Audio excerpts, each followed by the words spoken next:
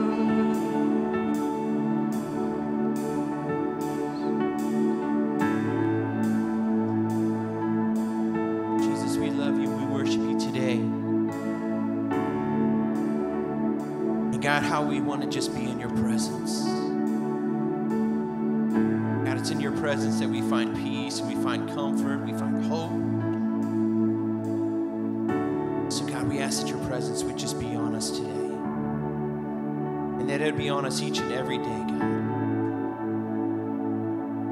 God, today we ask that you would challenge us through your word. That God, that we would leave here different than the way that we walked in. God, give us open hearts and open ears to hear everything that you have for us today. And we thank you for that. In Jesus' name. Well, good morning, church. Thank you for being here and worshiping with us. We're going to get started shortly, but before we do that, would you turn around and introduce yourself to somebody?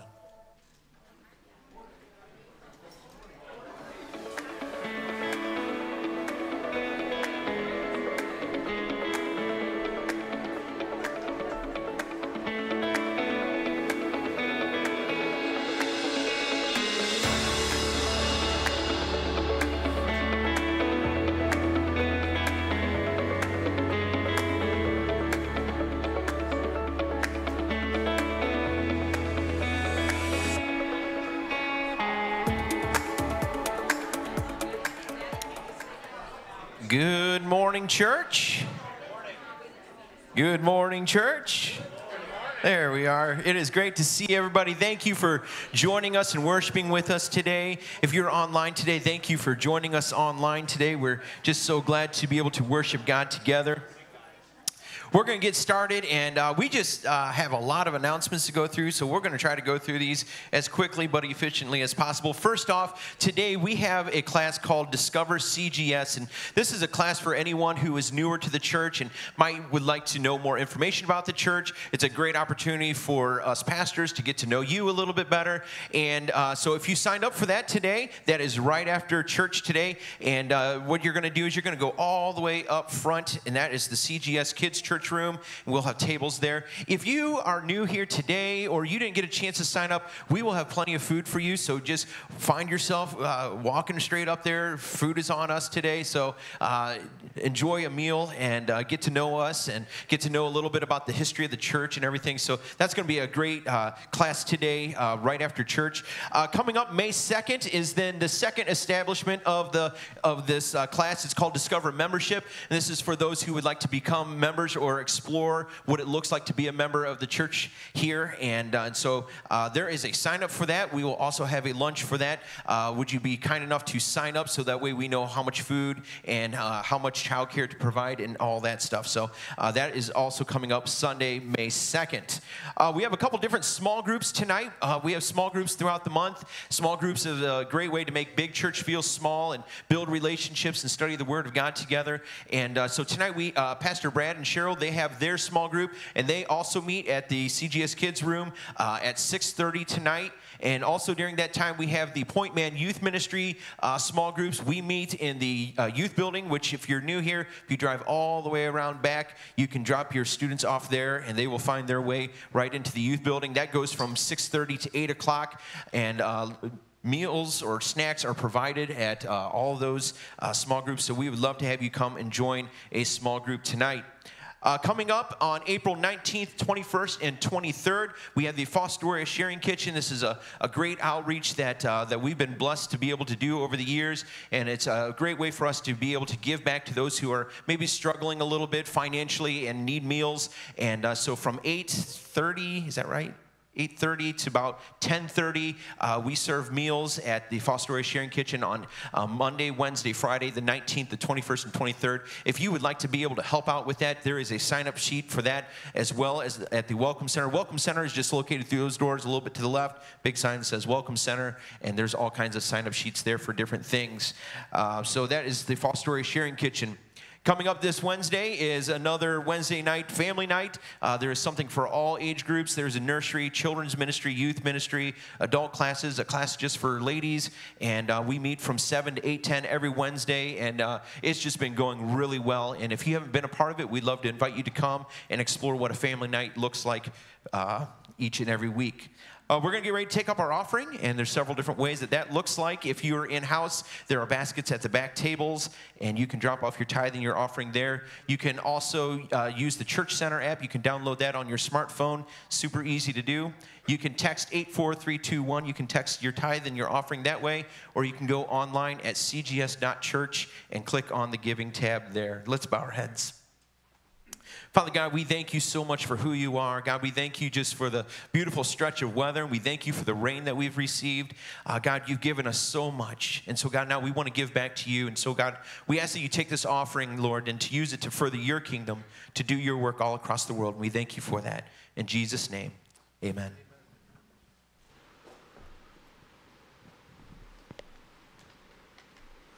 Well, good morning.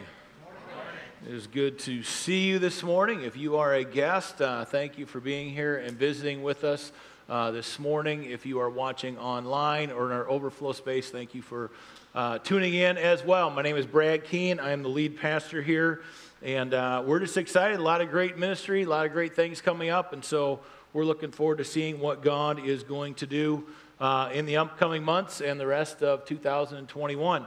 All right, we're going to begin with a time of prayer. And before we do this morning, just remember to uh, keep those in our church family that are that's in need, or we've had many people lose some loved ones lately. So just continue to uh, keep them in your thoughts and in your prayers. Keep um, uh, Karen Sharp and her family in prayer. We had uh, Doug's uh, service here on Friday. Keep John Mills uh, in your in your prayers. his mom's service was Thursday, and then keep Terry and Judy Robinson and Pastor Jeremy Alicia and the kids in prayers as her dad's uh, funeral is this Tuesday. So, uh, all of us have lost a loved one at some point in our life, and uh, it's just something that allows us to go through that when we have the encouragement and the love and the prayers of other people. So, I just want to encourage you guys, give them a, a note of encouragement, and uh, just be praying for them. Let's go before our Heavenly Father in prayer. Heavenly Father, we thank you for this day, and God, we're, we're so thankful for um, just uh, uh, the, the, rain, Father God. We're thankful for the sunshine. We're thankful for the seasons. And uh, God, we pray that you just be with all those that are just uh, going through a season and a time of loss in their lives. God, we're so thankful that you comfort hearts, God, that you help us through our times of, of mourning and, and grief. And Lord, we just pray that you'd uplift uh, all these family members, Father God, that you would keep them um, just help them to, to stay strong in this time, Lord, that you'd comfort them, that they'd sense your love and your presence. Lord, we pray for all those that are in need of, of healing. God, we pray for uh, just whatever the need is. God, we're so thankful that you meet us where we are at. And so, Lord, we're thankful for that. Now, God, we ask you to open our eyes, that you'd open our ears to be receptive, be ready to, to hear your words today, God, that we might leave here changed in some way, Lord, that some nugget of truth from your word would grab hold of us today and make a difference in our life. In Jesus' name, amen.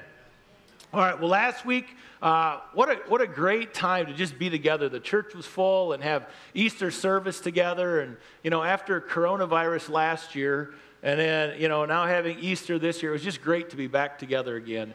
And, uh, you know, I was just thinking about that uh, this morning and throughout the week. I get little things that pop up on my social media f- feed, and it's, you know, a year ago, coronavirus, this was all new to us, and now we just can't wait to get through it all and to walk around without a mask on and all of these types of all these types of yeah, the amens are going off.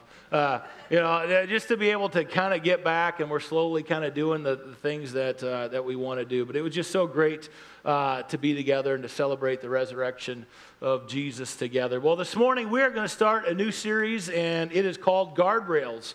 And I don't know what your mind goes to right away, but I hear the word guardrail, I think of those metal barriers. Uh, you know, on the sides of a road. Uh, you know, guardrails protect us, they keep us safe, they, they stop us if we hit one from going into uh, the dangerous areas in our life. And so you see them on the sides of the road to protect us. And we need to have barriers and protections in our life as well to keep us on track so that we don't go into the ditch. Have you ever proverbially gone into the ditch in life? You know, I mean, there's sometimes I always tell people life is like a two lane road you don't even have to be in the right lane, just stay on the road and stay out of the ditch. You know, sometimes we get off track, but we need to uh, stay out of the ditches in life. And I think it was like six or seven years ago, I talked about this, this topic of guardrails here at the church, and, and uh, wanted to come back to it because there are so many different areas in our life that we need healthy boundaries in. And uh, guardrail is just such a great uh, imagery in it. We could probably you know, spend the next, you know, 10, 12, 15 weeks talking about just different areas in our life scripturally where we need some healthy boundaries, where we need some healthy guardrails to set up uh, some protection for us. And so it's one of the most important things that we can do in our life is to have healthy boundaries. So whether it's on the road or whether it's in our life, Guardrails prevent us from going into dangerous areas. Again, we'll see them on a sharp curve. You'll see a bunch of guardrails.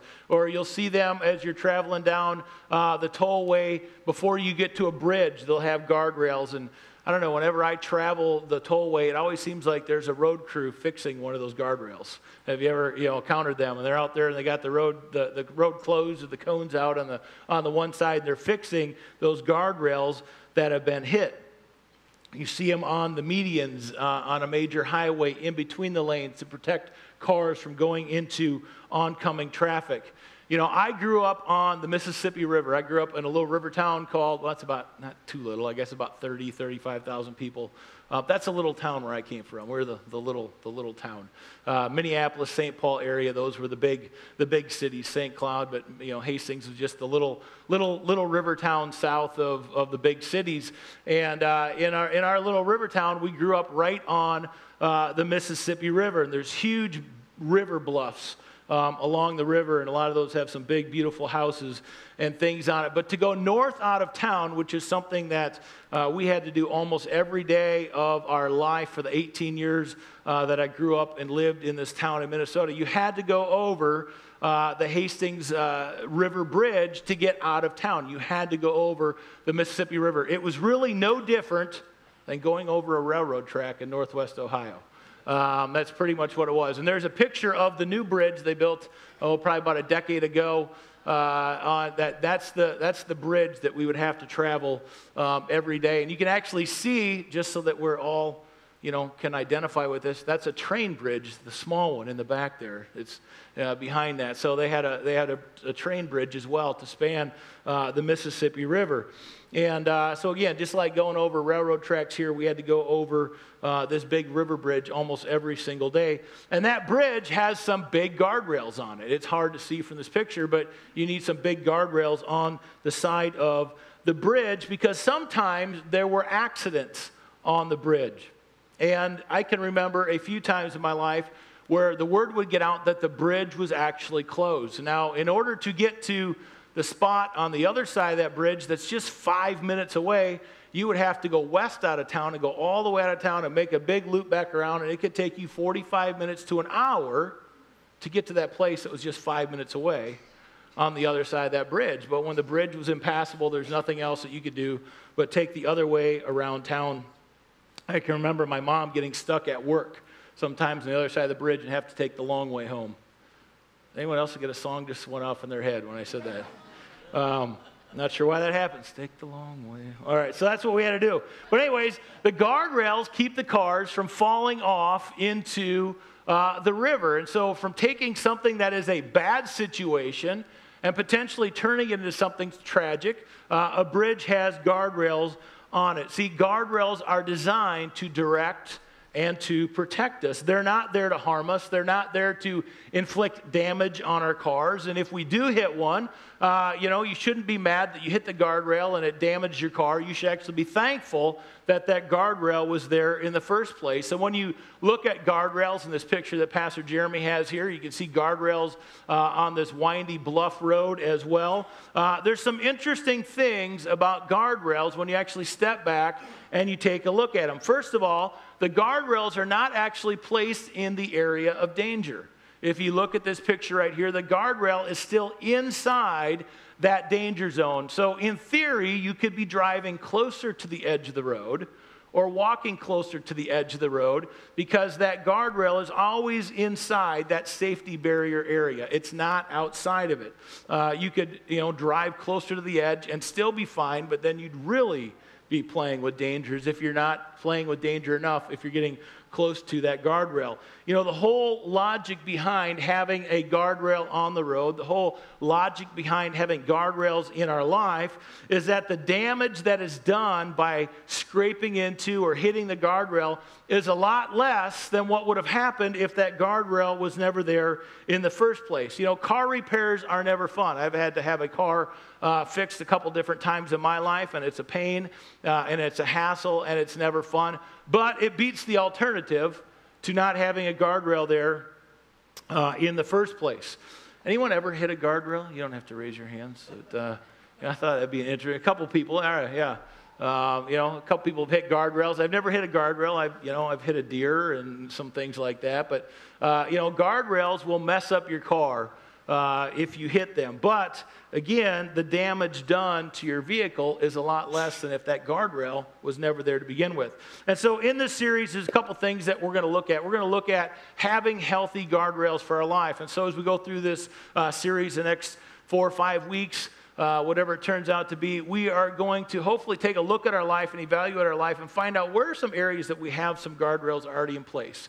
And if we have guardrails already in place, do we need to strengthen those guardrails? Do they need to be bigger? Do they need to be stronger? Have they been, you know, hit one too many times? Do we need to repair some of those wood posts? Uh, you know, if you think about it. Or what are some areas in our life that maybe we've never set up some healthy boundaries? We've never, we don't have the barriers in place that we need to. We kind of keep slipping over into the edge and going into the ditch in life.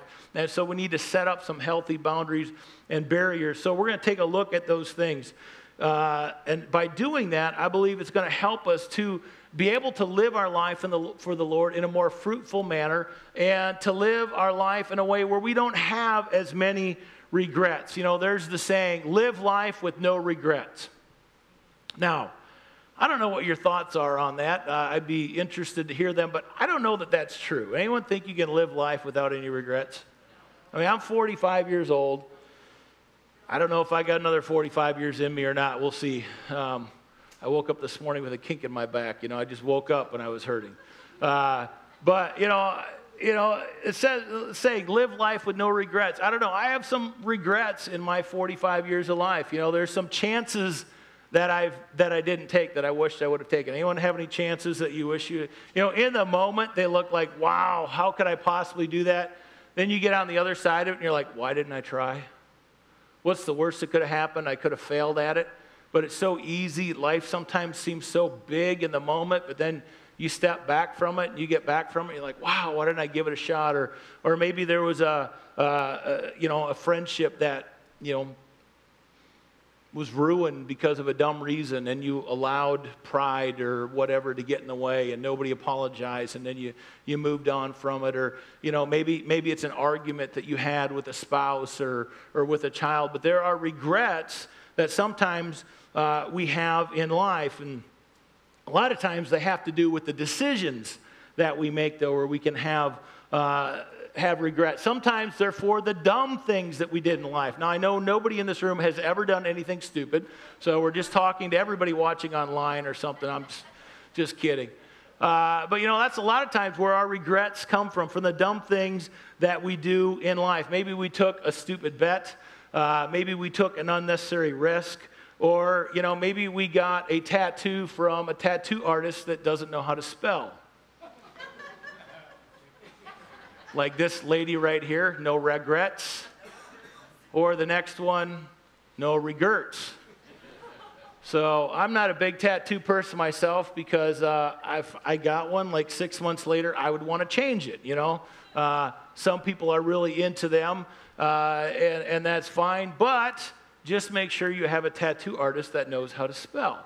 Uh, other, otherwise, that will be one of your greatest regrets in life is that you had a tattoo artist that didn't know how to spell. Now that's just that's just silly and that's just, you know, something funny. I guess unless you're the person that had that done, then I guess that's not funny. You have to live with that the rest of your life. But the truth is, uh, the greatest regrets in life oftentimes could be prevented if we had better guardrails, we had better boundaries, better protection set up in our life. You know, it could be in the area of our finances in morals and values, uh, in relationships, uh, in, in, in our professional life, to have guardrails in place, uh, maybe even guardrails for your health, guardrails for your time, guardrails for diet and exercise. You see what I'm talking about here? If we don't look at those areas and we don't set things up, it's easy to go off the road. It's easy to go into the ditch in those areas of your life. Like I said, if we started looking at all these areas and taking a look at the major areas in life, we could, we could talk about this for a long time, but I think that we'll all get the point as we go through this series and identify these different areas in our life where we need these healthy boundaries that God will guide us through in Scripture to establish.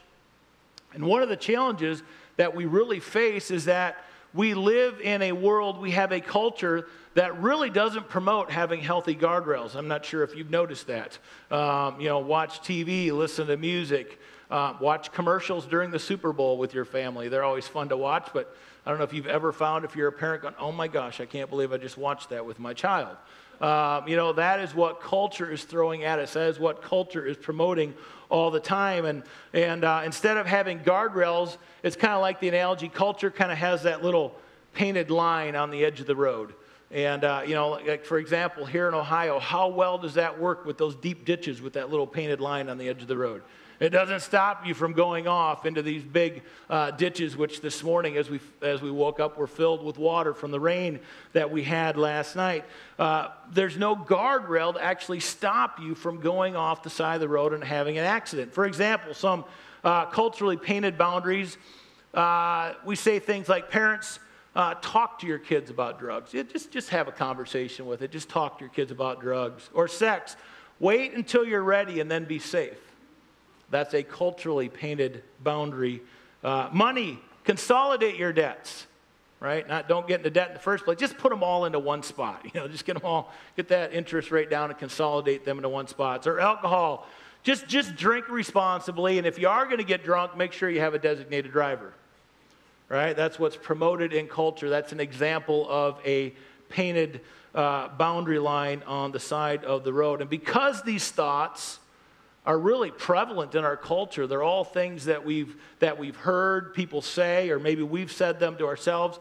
They really, don't, they really don't alert our consciousness when we brush up against them or when we begin to hit them. You know, nowadays they got those little rumble strips in some areas on the, on the side of the road. So maybe it gets your attention uh, a little bit quicker, but there's nothing to really prevent you from going off into these areas uh, when we, uh, that, are, that are dangerous in our life when we begin to brush up against them. So we need something stronger than just a painted line in our life. So let's take a look at Scripture. We're going to take a look at Ephesians chapter 5 this morning, uh, verses 1 through 20. We're going to take a look at what Paul says here in Ephesians, just uh, about life in general. And there's, there's a lot that's here. I could probably spend probably the next two to three weeks just unpacking this one passage alone. And we're not going to have the time to do that. We're just going to go through this passage uh, this morning. So pay attention and uh, feel free to go back on it and read it over. If you have any questions during the week, throw me an email or a text message, and I'd be happy to talk with you more about it. So, Ephesians chapter 5, verse 1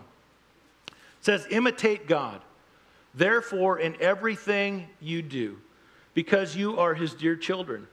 Live a life filled with love, following the example of Christ. He loved us and offered himself as a sacrifice for us, a pleasing aroma to God. Let there be no sexual immorality, impurity, or greed among you. Such sins have no place among God's people. Obscene stories, foolish talk, and coarse jokes, these are not for you. Instead, let there be thankfulness to God. You can be sure that no immoral, impure, or greedy person will inherit the kingdom of Christ and of God. For a greedy person is an idolater, worshiping the things of this world. Don't be fooled by those who try to excuse these sins, for the anger of God will fall on all who disobey him. Don't participate in the things these people do. For once you were full of darkness, but now you have the light from the Lord, so live as people of the light. For this light within you produces only what is good and right and true. Carefully determine what pleases the Lord. Take no part in the worthless deeds of evil and darkness. Instead, expose them. It is shameful even to talk about the things that ungodly people do in secret, but their evil intentions will be exposed when the light shines on them.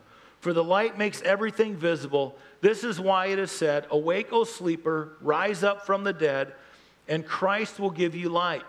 So be careful how you live. Don't live like fools, but live like those who are wise. Make the most of every opportunity in these evil days.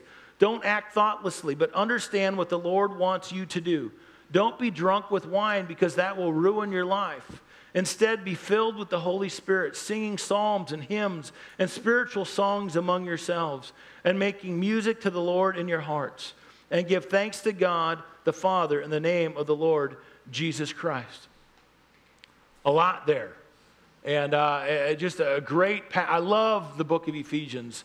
Um, honestly, we should just do a series on the book of Ephesians and just go through uh, this book uh, verse by verse. It's just a, it's just a life transforming uh, book of the Bible that just gives so much truth for our lives and how to how to live for God. So Paul starts here by encouraging us to imitate God in everything that we do and to be people the light, to live in the light, because now we have His light in us and, and really discourages us to, to live a life, to, to get away from sin, to get, to get away from those things that entangle us and drag us down and cause us to stumble in our life. He talks about, uh, you know, making right choices and staying away from wrong choices in life, staying away from sexual immorality. He talks about greed, talks about foolish talk. I think foolish talk is probably one of the, the biggest things that we struggle with as a culture and as a people, even in the church. You know, I mean, just sometimes we can get so caught up in just things that, that are foolish, that, that aren't edifying ourselves.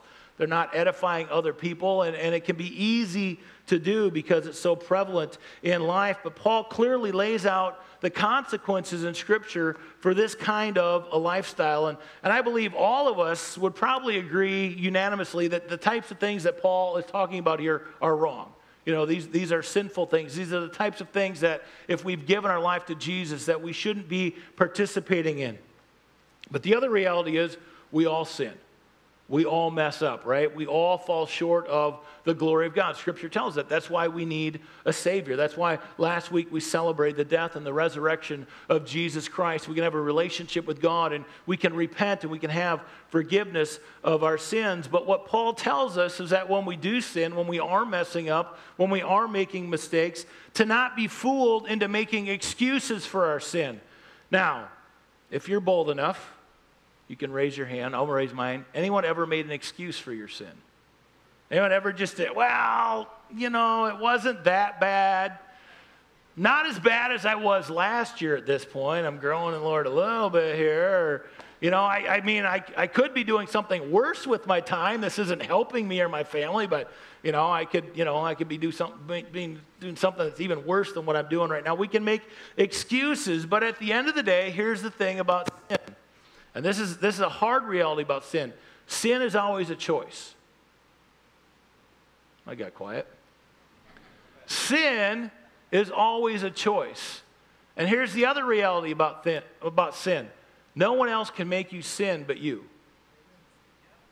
No one else can make you sin but you. So, if your friend gets you mad, your boss gets you mad, I know your wife or kids or husband never get you mad, so we'll stay away from that analogy.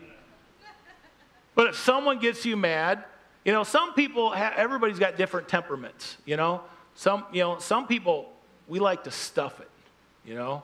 And then the volcano comes out, right? And you explode and then you sin. Well, guess what? It wasn't all those people that made you mad that caused you to sin. You still chose to erupt, right?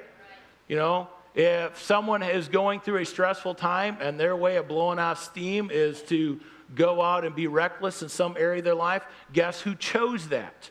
You know, if we can't control our tongue and, and, and we gossip or we talk about other people, guess who caused you to do that? You did. We make a choice when we sin. So Paul is telling us here not to excuse away our sin, that we need to take ownership for it. Don't, don't be fooled into making excuses because at the end of the day, the only person that can sin is us. We're the only one that chooses that. It's not what other people do to us. What do they say? You know, life is really, um, you know, life really is. Well, how's the expression go? 90%. Uh, 10% what happens and 90% how you respond to it. And that really is, that's what we can control. We can't control what happens to us. We can't control when someone hurts us. We can't control uh, bad things that happen in life a lot of times, uh, but we can control bad decisions. We can decide if we choose to sin and do something that's, that's unscriptural. We make those choices. So Paul tells us that, hey, once you are full of darkness, well, we're full of darkness before we make Jesus the Lord and Savior of our life. You know, once we, once we make Jesus the Lord and Savior of our life, and then we're baptized, the, the Bible talks about going down in the, the, bap, the waters of the baptism, being raised a new life in Christ. We become a new person. So he says, now you once were children of darkness, but now you are children of the light. And so act like people of the light. He tells us to determine what pleases God, and he tells us not to participate in the evil of the world. Look with me again at, at verse 15. It says, So be careful how you live. Don't live like fools, but like those who are wise.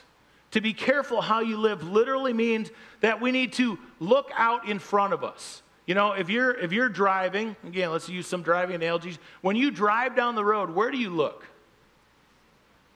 Where? Ahead. How far ahead of you do you look? I'm going to become a driving class inspector after this class. Struck. Do you look, do you look 10 feet in front of your car? If you've ever taught a kid how to drive, oh man, that's frustrating.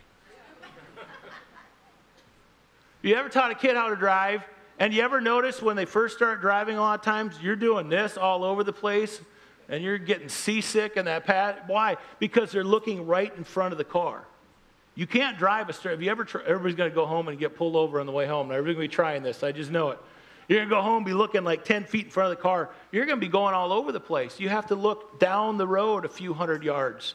You know, that helps you to also make sure you don't hit deer and things like that running uh, across the field. But when you look right in front of you, it's hard to drive a straight line. If you've never tried it, try it on the way home. We'll see how many, uh, how many uh, sheriff's deputies we can keep busy.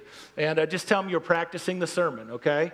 And. Um, but if you, you have to look out farther to drive a straight line, you have to look out. So Paul tells us to be careful how you live, literally to look out in front of your life and, and where you're going, to, to pay attention where you're, where, you're, where you're driving, or as we walk through life, to pay attention where we're walking each and every day. You know, if you're out in your yard, and, uh, you know, we've got a couple acres in the country, and my yard is uneven a lot of areas. If I'm not watching where I'm going, there's some areas I could probably roll my ankle in my yard or sprain my knee if I'm not paying attention to where I'm going and what's coming up in front of me.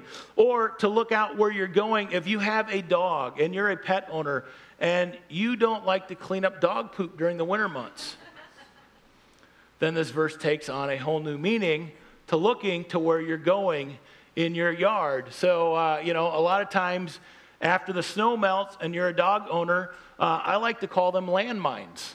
And there are landmines all over uh, the yard. And so you have to be careful where you are walking. And so that's a great visual for this passage. Paul is telling us to look out for the landmines in life, to look where you're going, to pay attention what you're doing with your life so you don't step in it so you don't play in it, so you don't make a mess of your life. So Paul tells us not to live like fools. You know, it is never fun to step into a landmine that a dog has left.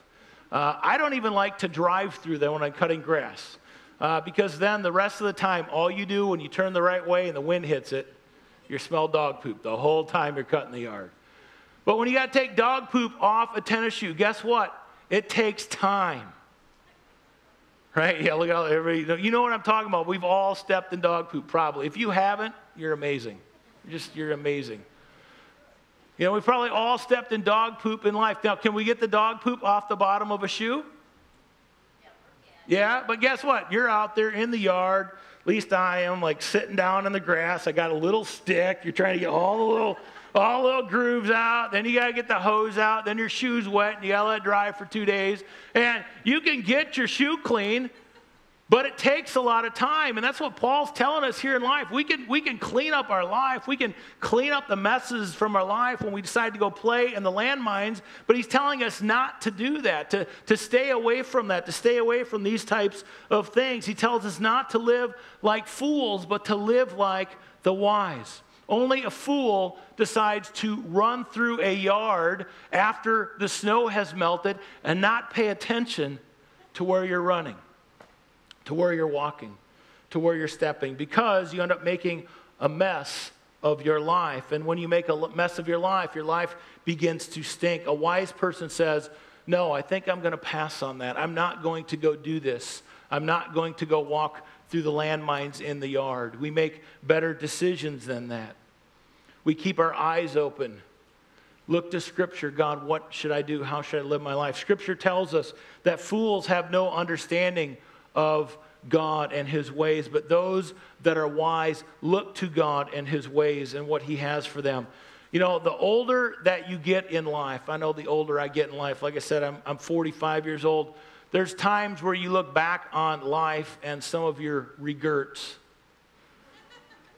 and wish that you could get some of that time back. Has anyone ever had that? I don't, I don't think that's a bad thing. I think if you stay there, that's probably a bad thing. But I don't think there's anything bad. You know, those that, that, that don't remember history, they're doomed to repeat it. I think sometimes it's important and good to go back and look at some things and go, you know what, I need to be careful with my time going forward. I can't change the past, but I can change the future. And sometimes, you know, we can learn just as much by the bad things that happen to us than from the good things that happen to us, right? If we use them as learning experiences for our life. And so sometimes it's important to do that. But as the older we get, we begin to look at the time that we have left and we begin to evaluate what truly is important in life. What, is, what are the things that, that, that you value? What are the things that, um, that, you know, that you need to do? What are the ways that you need to be uh, spending time? How do, you, how, do you really worry about the way other people perceive you? Or are you more content to live your life the way that God has called you to live your life? Another thing, church, is that we live in dangerous times. If you think about the time frame in history that we're, we're looking in right now, where we really can't afford to be careless, you know, with our time and what we do with our time. There's really too much at stake. I would say, really, culturally speaking, right now, um, you know, we've not only hit the guardrail or hit the painted line, but we're kind of dangerously close, if not already going into the ditch culturally in a lot of areas in life. We're truly living in a time right now where evil is being called good and good is being called evil. There's a lot of things that we need to pay attention. So it's so important for us as the church, capital, church, capital C church in the world today, and, and I guess even this local expression of the body of Christ for the church of God to pay attention and to have healthy boundaries and, and have healthy barriers because there's going to come a time, and I keep saying it all the time, we're going to have to make a decision. Do we stand on the Word of God or do we not stand on the Word of God? Do we, do we bow down to things that culture are saying th- that we should do or we should be involved in? Or do we stand on the Word of God and what God tells us in His Word? Even in the church, there's a lot of people that are cherry picking out of Scripture what they want to believe and what they don't want to believe. You know, the reality, there's a lot of, uh, unfortunately, there's a lot of pastors preaching uh, a lot of things from, from the pulpit that aren't scriptural as well. You know, we have to decide do we believe the Word of God or do we not believe the Word of God? Either the, the Bible is true and it is God's spoken word, or it's not. And when we cherry pick, we're making the decision that we really don't believe. We can say that it's God's word, but our lifestyle our actions don't match it up. So we need to decide is it the word of God? Is it an absolute authority for our life or not? See, the Bible is truth or it's not. Unfortunately, moral relativism has taken hold in our culture. And what's true for me might not be true for you. And well, but I, our feelings, oh. feelings.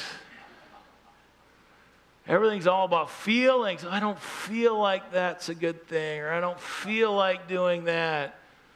Oh, I'm not going to go there. All right. feelings. I don't know about you, but my feelings have misled me a lot in life. All right? It's not about feelings. There's a lot of times I, you know, I woke up this morning and I was tired. I didn't feel like getting out of bed.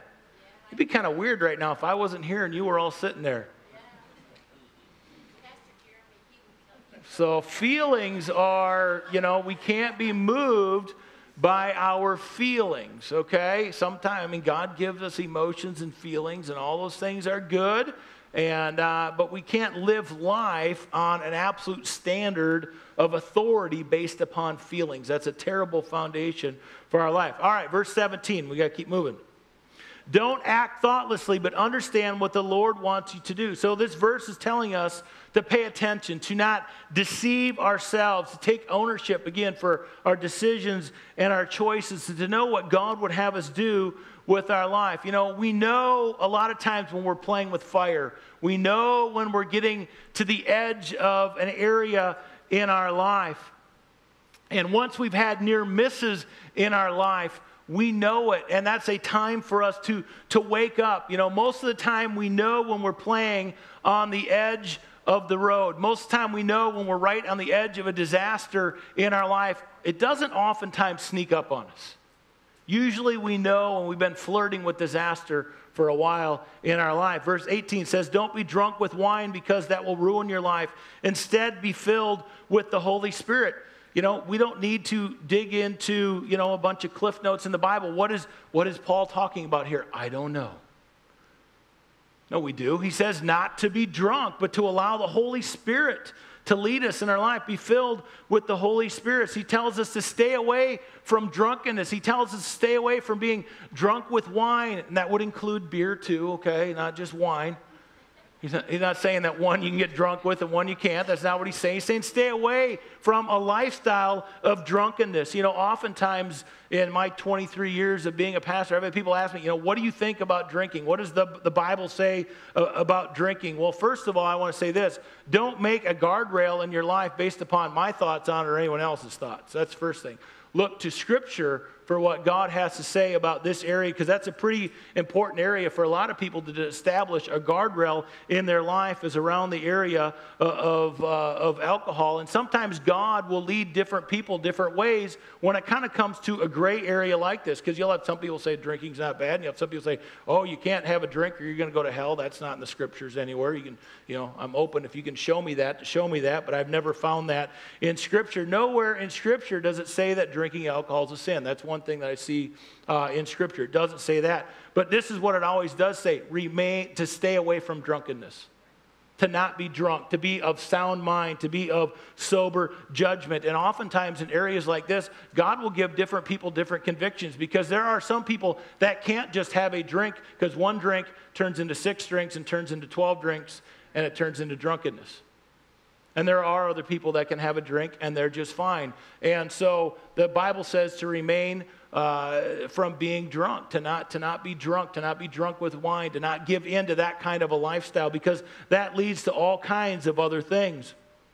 Alcoholism has destroyed families, many families, my, my family included. I had an aunt that passed away due to alcoholism. I, have I've known people that have, have drank themselves to death. I know family members that have had car accidents and loved ones have, have, have passed away due to, due to drunkenness. So uh, alcohol can destroy families. But Paul points out basically what he's saying here if you get drunk, you've hit a guardrail in your life. You know, that's a guardrail. So if, if you're okay and, and you feel like God says okay for you to have a drink, then make sure you're not getting drunk, right? And for other people, you can't have a drink at all because once you have one, you may as well just have 12. Right? right? Close down the bar, someone said. You go to have one, you're closing down the bar. That can happen in life. So we need to have guardrails in our life. You know, another reason Paul talks about drunkenness here is uh, because one of the fruits of the Spirit is self control. And guess what? When a person gets drunk, do you have any self control? Everybody's like, I have no idea because nobody here has ever been drunk before, right? Nobody went to college or went to high school, farm fields. You know, we've been there before. A lot of people. If I, uh, I'm not going to make anyone raise their hands. But if you hit that, if you hit that guardrail, you know, if, if, if you're drunk, you've hit that guardrail and you've lost the fruits of the Spirit, self control. And oftentimes, a lot of the other fruits of the Spirit aren't operating in our lives either if we do something like that. We're not going to be loving. We're not going to be joyful. We're not going to have peace. We're not going to have patience, kindness, goodness, self control, gentleness. You know, none of those things are operating in our life if we're drunk with alcohol. So Paul's saying, don't be drunk. Don't give yourself over to where all this other foolishness and things and bad decisions can happen in your life. So again, that's not, I'm not saying I'm for you having alcohol, and I'm not saying I'm for you not having alcohol. That's, that's, that's not my decision to make. That's a, that's a boundary for you to set up with God. But again, some people can have a drink and some people can't have a drink. You need to know what that guardrail is in your life. Because alcohol can ruin a life. And in some versions of, of, the Bible says it can lead to debauchery. You know, extreme indulgences in life lead to a loss of self control. So, and not just alcohol, it can be lust, it can be greed, it can be food, it can be materialism, it can be anger. Do you see what I'm saying? Paul could have put any, any of those in there. All those areas of our life, we need to make sure that we follow what God's word says. All right, let's finish that verse 18 and we're going to wrap up with this. All right, so, so don't be drunk with wine because that will ruin your life. Paul's really clear with that. Uh, uh, I, I, had one of my great friends who, who passed away about five years ago now. He lost a great job, a pension, a marriage, his family, all over alcohol. Thankfully, God got a hold of his life and gave his life to Lord. And, and there's, he preached to everybody he came in contact with. We'd be on a turkey hunting trip out in the Black Hills of South Dakota and decide to actually shower one night so we didn't stink and actually look like human beings. We'd go into town and we'd have something to go have something to eat instead of having to cook something at camp. And we'd be at the table ordering food and we're like, Where's Dave at? And he hadn't passed the second table. He's talking to someone about Jesus, you know? in, in, in the middle of the Black Hills in South Dakota. And, you know, talk about a life that was radically changed when God got a hold of him. So, verse 18, don't be drunk with wine because that will ruin your life. Instead, be filled with the Holy Spirit. So, the question we have to answer is what do we allow to influence our lives? Do we fill our lives with God? Do we allow the Holy Spirit to move in our hearts and our life? Or do we allow other things to influence our behavior? Do we allow other things in the world to influence our decisions? You know, as God's people, if we've given our life to Jesus, we need to allow the Holy Spirit to influence our lives. Amen. When we give our life to Jesus, we ask the Holy Spirit to come and to live on the inside of us. And the same power it says in Scripture that raised Jesus from the dead lives and dwells inside us, church. See, we don't plan to mess up our lives each and every day any more than we plan to get up and go mess up our car. Have you ever woke up and said, Let's see how many dents and scratches I can put on this thing today? Sometimes when we were, nah, I'm not going to go there. I was going to say when we were first early married before I taught my wife to park way out in the parking lot, sometimes she'd come back from the grocery store and I thought it was a contest. How many door dings can you get at the grocery store? I mean, I don't know what it is about grocery store parking lots, but you always come home with a bag of groceries and a ding in a car door.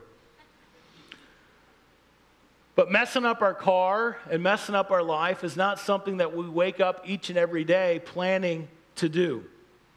We never wake up in the morning and say, which guardrails can I hit in my life today?